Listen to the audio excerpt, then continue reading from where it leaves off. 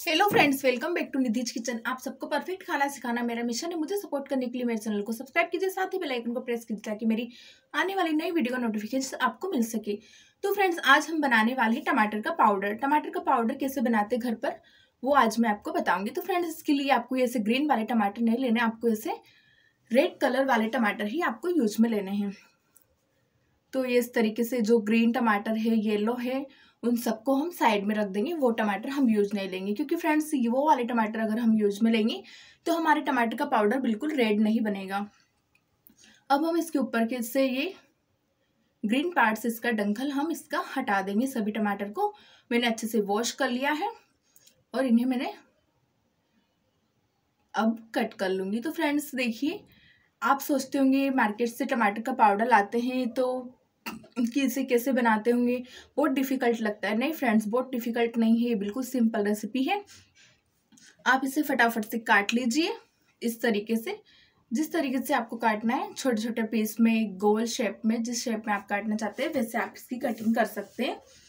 तो ये देखिए, मैंने इसको कट कर लिया है। तीन से चार टमाटर को मैंने इसे कट किया है। मैंने पतली पतली स्लाइस में मैंने इसको कट किया है ताकि इसको सूखने में ज़्यादा टाइम नहीं लगे। अब ये देखिए, मैंने कट करने के बाद इसको मैंने धूप में सुखा दिया है। धूप में मैं इसे सुखा दूँगी। तीन से चार दिन तो आपको इसे सुखाने में लगेंगे फ्रेंड्स अब ये देखिए, चार दिन बाद मैं आपको बताती हूँ कि इस तरीके से टमाटर मेरा सूख गए हैं। ये देखिए, मैं इसको तोड़कर बताती हूँ। बिल्कुल अच्छे से टूट रहे हैं। अब हम इन टमाटर को मिक्सर जार में डालकर ग्राइंड कर लेंगे। ये देखिए, इस तरीके से मिक्सर जार में हम इसे डाल देंगे और हम इसका पाउडर बना लेंगे। तो ये देखिए, मैंने इसे अच्छे से ग्राइंड कर लिया है और इसका पाउडर बना लिया ये देखिए, इस तरीके से। और फिर भी आपको अच्छे से ये ग्राइंड नहीं हुआ है तो आप इसे छान सकते हैं। एक बार आप इसे छान कर यूज़ ले सकते हैं, फ्रेंड्स। अगर आप इसे छः महीने के लिए स्टोर करना चाहते हैं, ज़्यादा लंबे समय के लिए तो आप इसमें थोड़ा सा नमक डालकर आप इसे स्टोर कर सकते हैं तो ये बहुत ज़्यादा लंबे टाइम तक चलेगा।